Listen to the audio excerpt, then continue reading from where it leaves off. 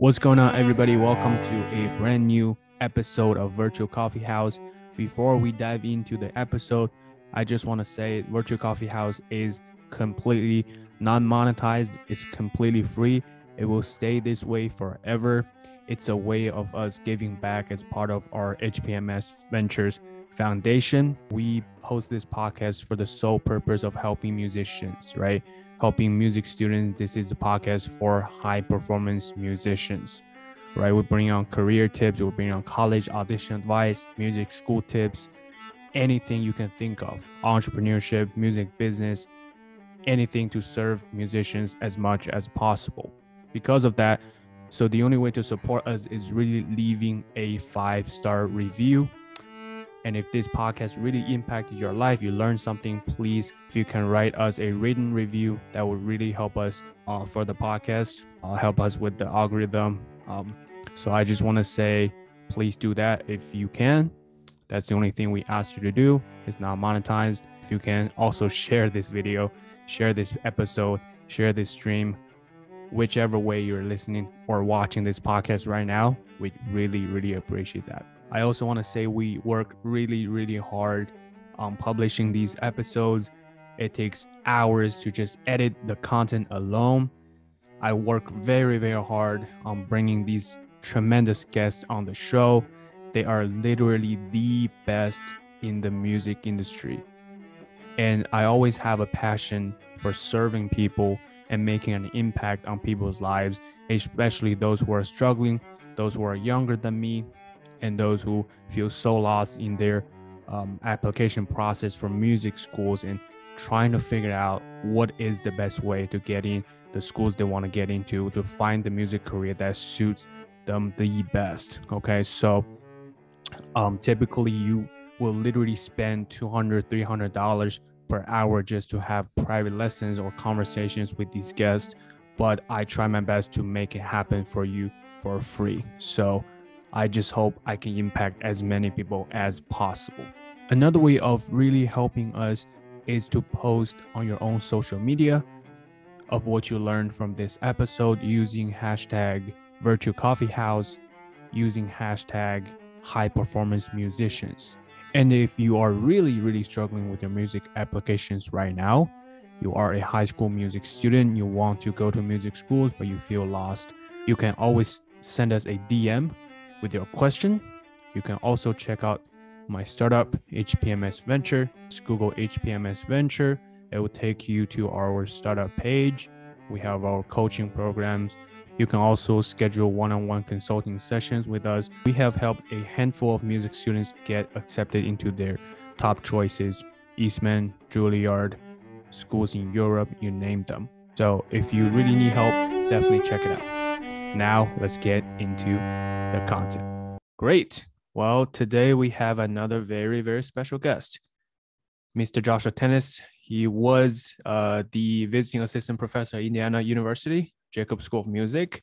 And right now, he currently serves as the Aural Skills Coordinator at the University of Michigan. Welcome, Mr. Tanis. So great to have you here. Thank you very much, Stephen. It's great to be here. Good to see you.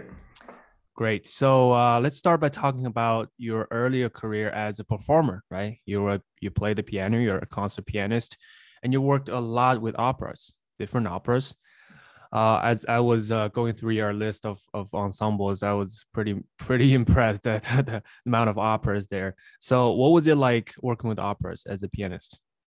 Yeah, so I I came so I I'll give you a little background maybe of my education. I started really as a pianist. Um, my undergraduate degree was in biology and music, and I was a working collaborative pianist at that time and an aspiring dentist.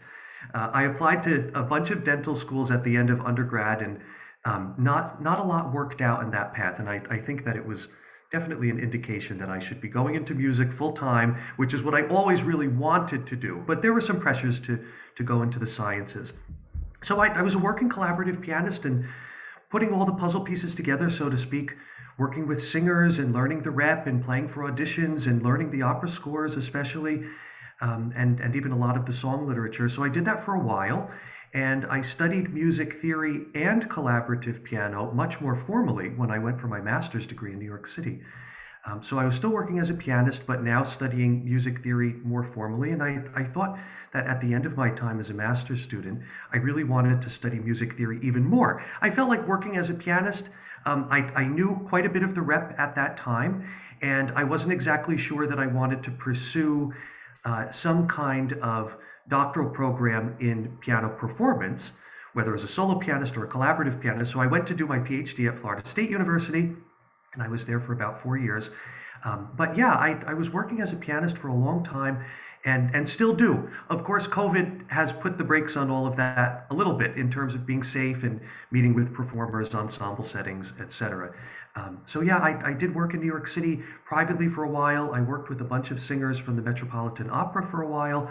That was a, an absolute delight and um, you know hope to get back to that when i can but the professor the, the, professor occupation of course can take you to all different parts of the country and sometimes very frequently early on in your career um, michigan feels like a great place to be to be settled and, and i'm so delighted to be here i had a wonderful time at iu while i was there and a great time down at fsu so yeah it, it's been a little bit of a lot of things along the way awesome uh, you mentioned something i didn't catch when I was doing some research. So you were a dual degree um, background from undergrad. Did you finish as a dual degree? Yes, finished a dual degree, music and biology, uh, and then went on to a master's program and did another dual degree in music theory and collaborative piano. I, I couldn't choose one or the other.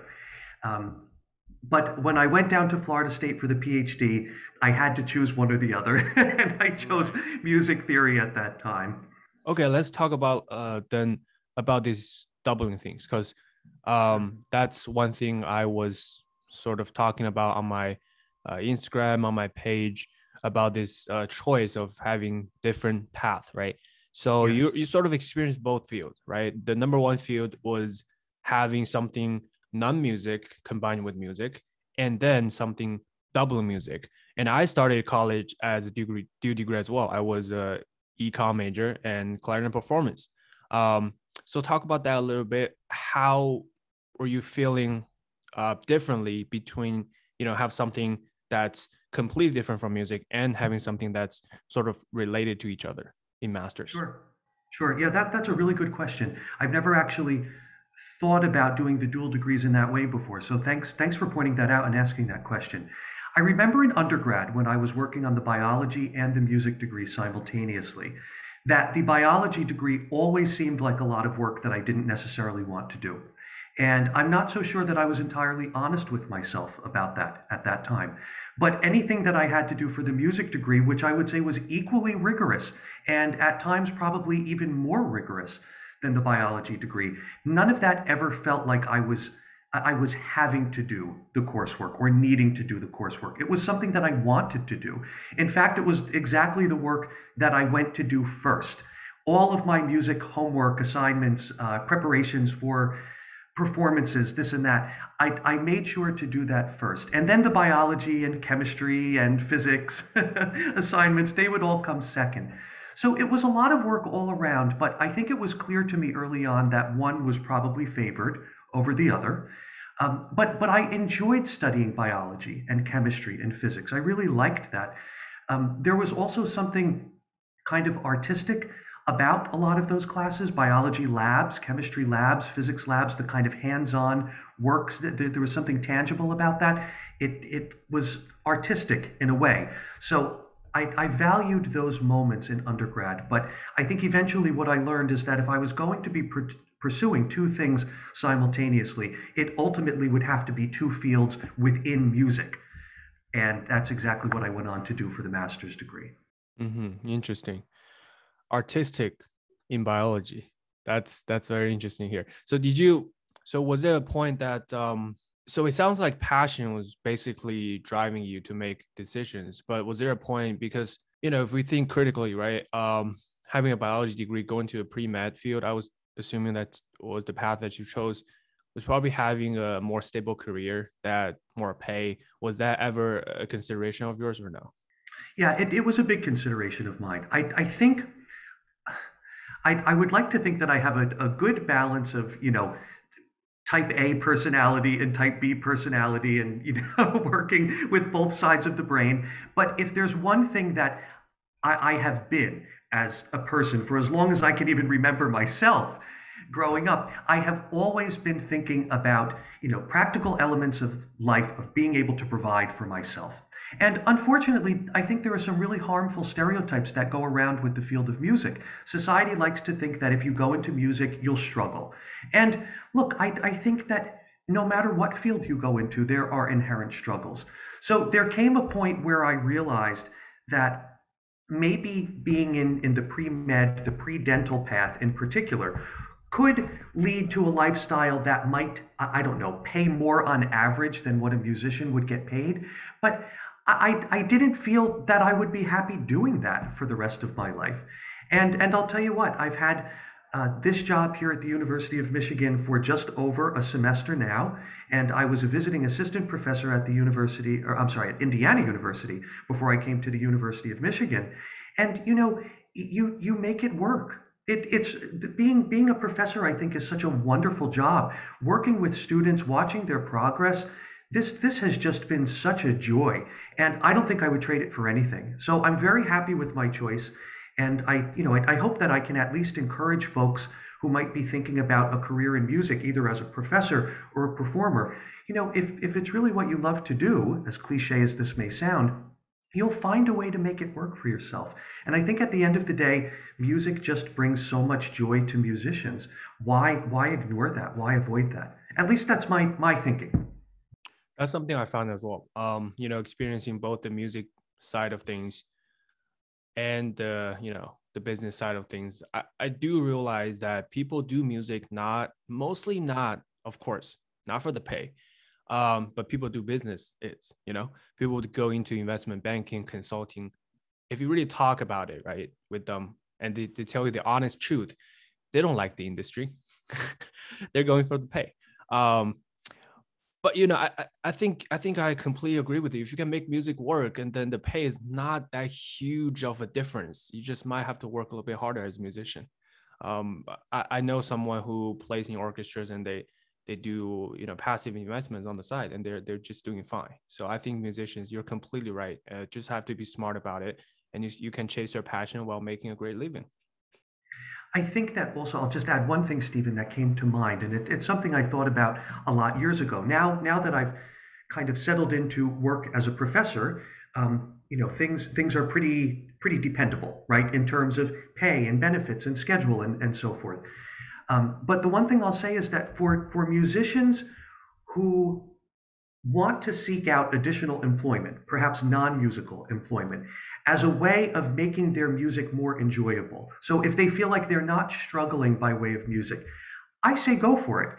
But if your additional non musical employment perhaps gets in the way and, and is taking away from the enjoyment of your music, then I think probably there are ways to figure out kind of both sides of that scale. I, and, and I agree with you, Stephen. I think that there are a lot of folks who probably find non musical employment to help pay the bills, so to speak. But at the end of the day, it has a way of stifling their creativity. And I think that's where the outside or additional employment can get in the way. So it's probably just something to keep in mind um, if and when pursuing a career as solely a musician or as musician plus maybe a little something else on the side.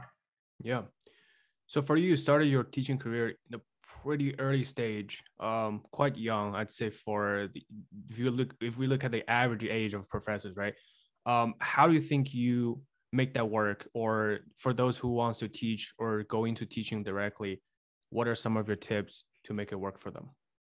Good question.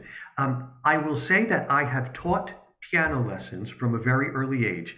And a word of advice would be as any kind of musician, put yourself in a position, no matter how old you are, where you can be teaching someone something.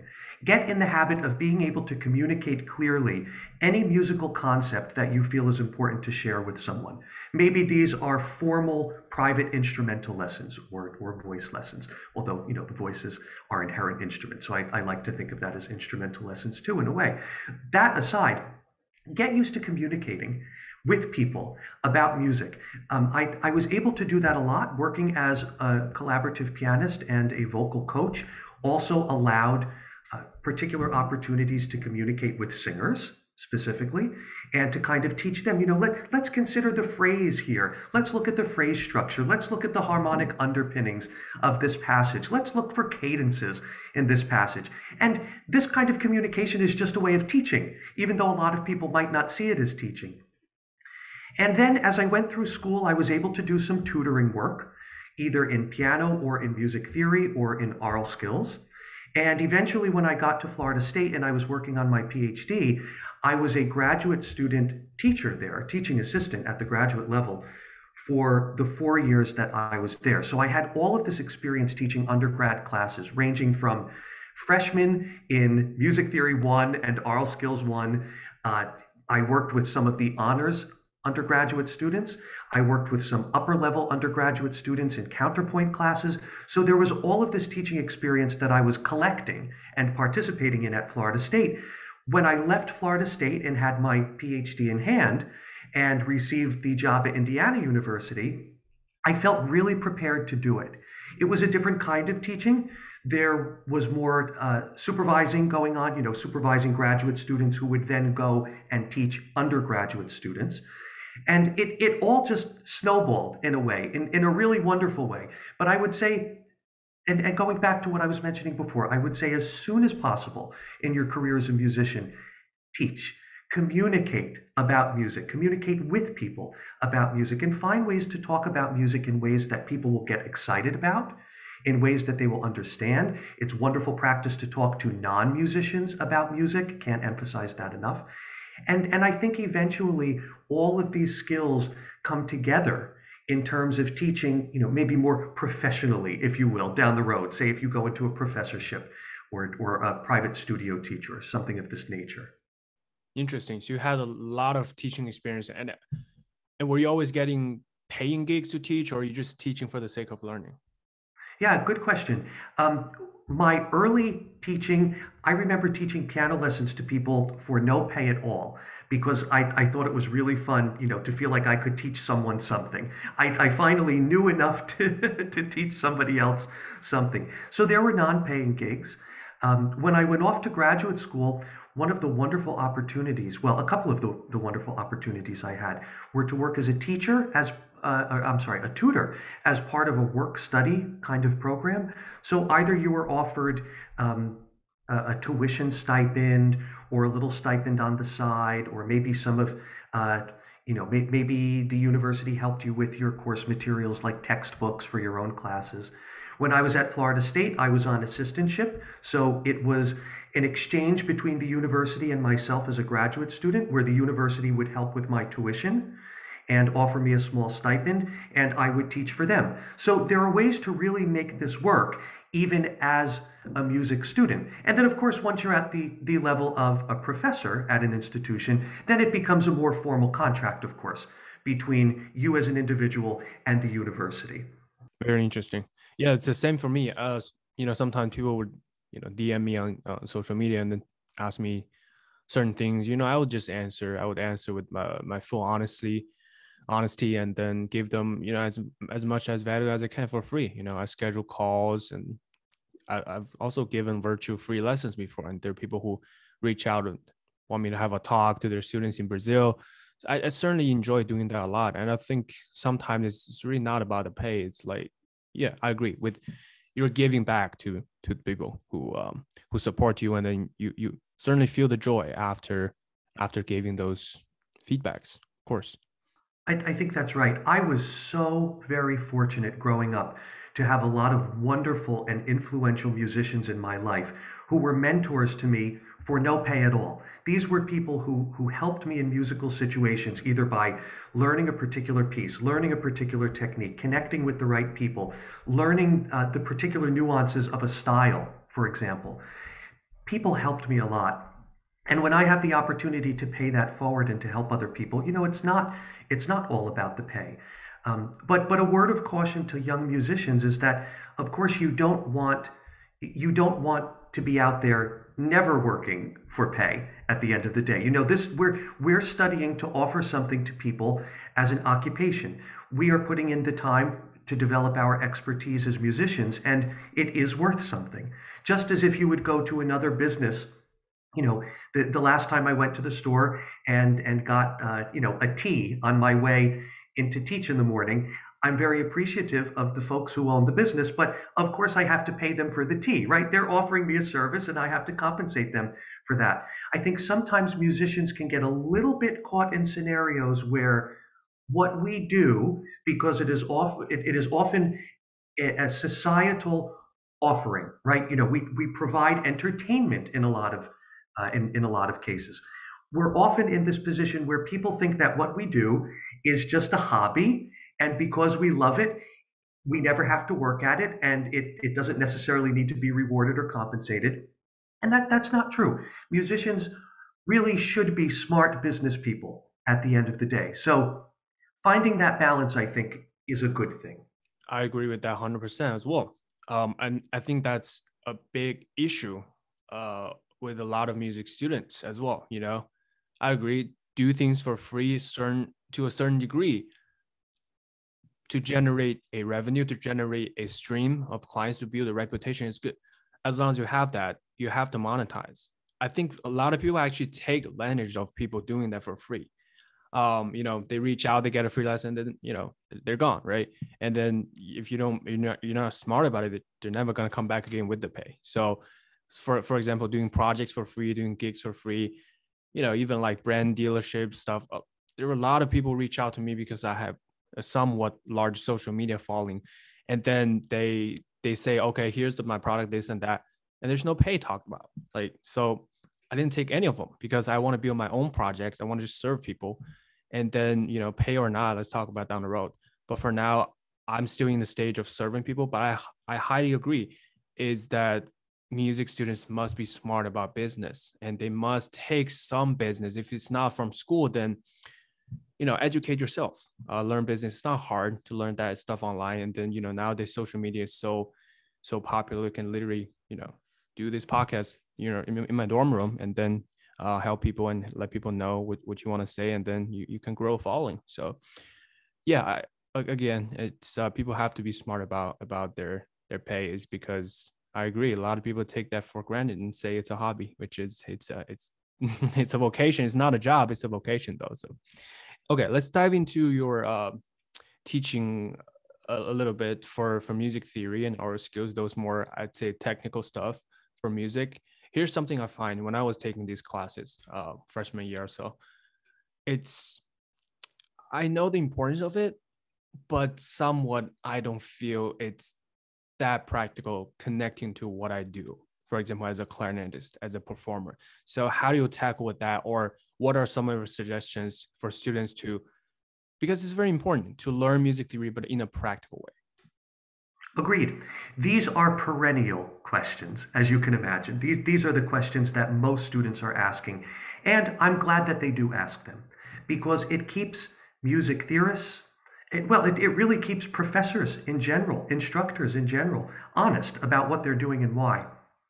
One thing that I always offer to my students, and I've, I've had, I, have had um, a great time teaching both written theory courses, and now here at the University of Michigan, I'm overseeing the entire aural skills program. So I, I've been in both worlds. One thing, especially in written theory, we, we can start there maybe, is that I believe that written theory has the great ability to teach students style and when you learn style, you learn musical predictability and tendency, and the ability to kind of predict the future and develop your musical intuition within a particular style, I believe pays dividends just endlessly and very greatly. I ask students all the time, um, how many how many of you, by show of hands, would like to go and be, you know, a, a successful musician, whatever that means to you in music? everyone raises their hand invariably, right? How many of you will probably have to go and play for an audition at some point or, or perform an audition? Many people raise their hands. How many of you uh, in that audition setting will probably have to do some kind of sight reading? either at your instrument or by way of your voice. Many hands are going up again. so, how does sight reading become easier? Well, one way that it might become easier is by being able to kind of predict the style of a particular composition.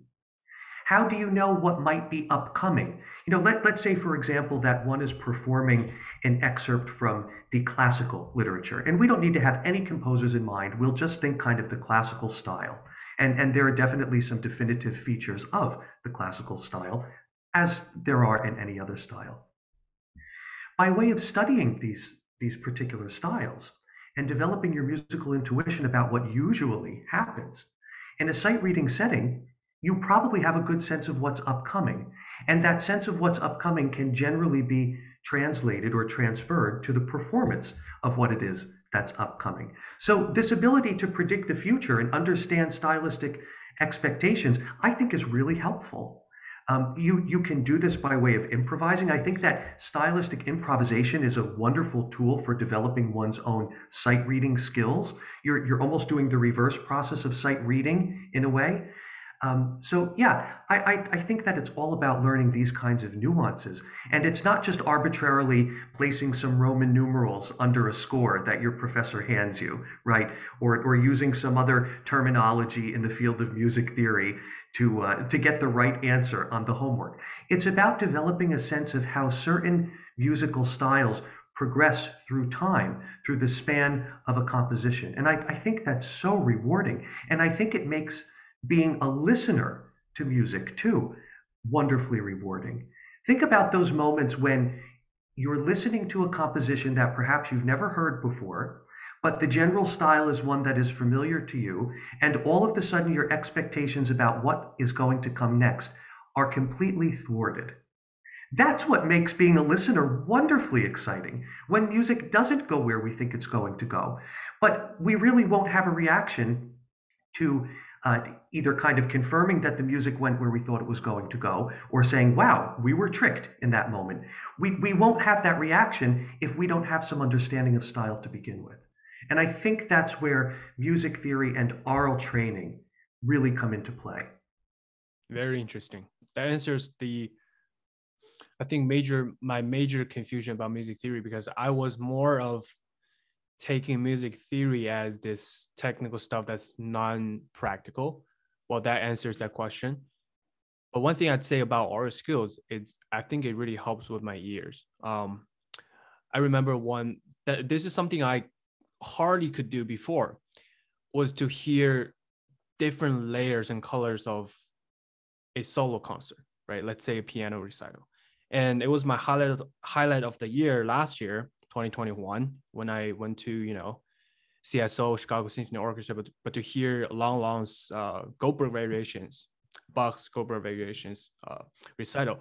And that concert was like, I don't, I don't know, probably an hour, 20 minutes, but I was paying attention the whole time. Uh, without being distracted. That's rarely that rarely happens to me because usually I feel you know a bit distracted during a long period of classical concert. But I was paying attention because I can I can just literally hear all the different layers of different colors of the piece. And that was fascinating to me because I never had that feeling before. And I think fundamentally, if I didn't have, you know, one year of ear training here in school, I would not pick it up because I would just hear, go to orchestra concert, hear different instruments, but the sense of coloring and layers from one single instrument was truly, truly fascinating to me. Yes, I, I agree. You know, there aural aural skills to me can mean so many different things. And in an aural skills class over the course of the semester, there are myriad activities one can do with students or ask students to uh, to complete on a homework uh, assignment, for example. So it, it does all come back to truly the ear training, to be able to look at a piece of music and without making any sound, understand what that sounds like in your ear and in your mind. I, I think that's really the goal of aural skills. And it, it goes beyond that. Pattern recognition in music is so important, right? We're, we're trained in music to be listening to patterns. We respond to patterns so frequently. I think that patterns come into play not only for listening, listening pleasure and kind of contextualizing what we're listening to, in a composition, but pattern recognition is directly related to studying a piece of music that one might be performing, for example, or that one might be analyzing in order to discuss it in a scholarly way. You know, for, for the folks who may be more interested in academic music disciplines like music theory or musicology or ethnomusicology, rather than just for performance. Um, aural skills engages error detection if you're looking at a score and listening to a recording you can you know you can make some decisions about well isn't that interesting? In this particular recording i think i heard an f sharp but written in the score was an f natural. I need to look into what's going on here. Maybe i should look at other versions or other editions of this score and maybe i should approach my study of this score more carefully or more critically in this matter. And that I, I think that's a really wonderful thing to do too. Um, aural skills, developing the ear, I think engages the art of ensemble work, right? Participating in music with other people. At least in, in my sight singing and aural skills classes here at the University of Michigan, I constantly encourage my students when sight singing either melodies or even just sight singing rhythm exercises don't stop, right? In an ensemble setting, if you're working with, say, four or five or more other musicians, you can't just stop in the middle of a rehearsal and say, uh, you know, one moment, please, I just need to take a second look at what's going on here in the score. So, training training one's aural skills, you know, training the ear, training the ear and the eyes to interpret in order to uh, be able to make sound with your voice or to convey on your own instrument. You know, all, all of these things are really very much related and very important. And then, of course, people always argue that aural skills are very important for the development of relative pitch. That is, uh, one's ability to make associations between pitches. And this differs from absolute pitch, of course, which is a very different kind of thing. But I do think the development of relative pitch is a really wonderful and necessary skill for all musicians. And usually in the aural skills classroom, the, the different kinds of activities that we would participate in are all helping to achieve these particular goals at the end of the day. Awesome. Fantastic. One last thing I do want to ask um, before we wrap up here is sure for students who are, let's say, okay, so music theory aural skills that these are kind of the things that sort of you can only get formal education in college. If you didn't go to like an art school or music school for you know preparatory programs back in um, in high school, which I had the fortune to have, but I, I imagine a lot of students didn't have these kind of resources what are some ways to still get this education to help them grow as a, as a musician as a whole but from online or anything else? Uh, what are some of ways that you recommend them start doing like in a younger younger stage in their music career? Sure yeah really really good question and i, I think that there are many ways one could accomplish this. Um, a couple of things that come to mind there, there are really practical things that come to mind like a handful of free websites online websites that anyone can access for free in order to begin training their ears. These websites may present uh, interval training. So, note to note, you know, melodic intervals, we hear a note, then we hear another, what's the interval between? Or harmonic intervals, where you hear two notes sounding simultaneously, what is the interval generated between those two notes? Uh, you, they, they can train you for determining the quality of triads and seventh chords and short chord progressions and so forth. So there are a lot of free online resources for the kind of beginning stages of aural skills, sight singing, uh, written theory, all, all kind of folded uh, in, in together. Beyond that, I think one of the most important things to do as a musician as early as possible is listen, listen, listen. Listen to pieces that you believe will have similarities to one another. For example, pull out a, a set, you know, well, uh, now, nowadays with YouTube and all of these other things, Spotify, it's so easy to find collections of music, right? Um, maybe, maybe go through some string quartets from a particular style period and just listen.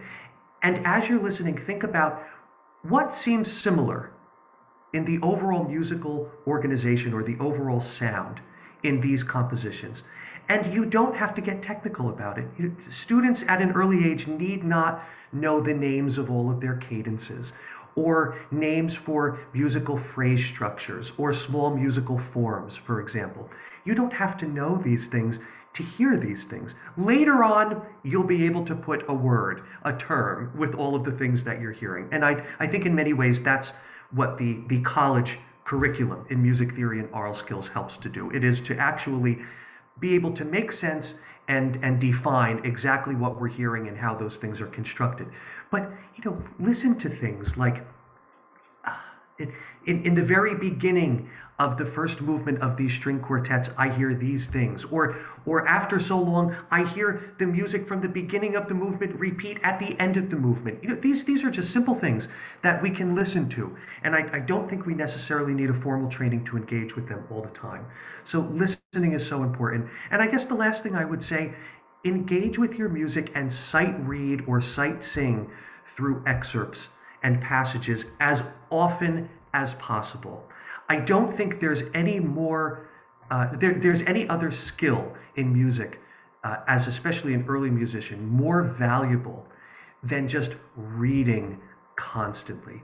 Read through things at your instrument. If your instrument is not your voice, sight sing through things. Engage your voice in music making outside of your instrument. I think all of these things are, are very important. And and maybe I, I know that was my last thing, but I just thought of one more course, that I that I encourage students to do all the time. Listen to a passage, a short passage, and sing it back, or perform it at your instrument. This the the ability to hear, to make sense of what you're hearing, and to perform back with your voice or your instrument is extremely important.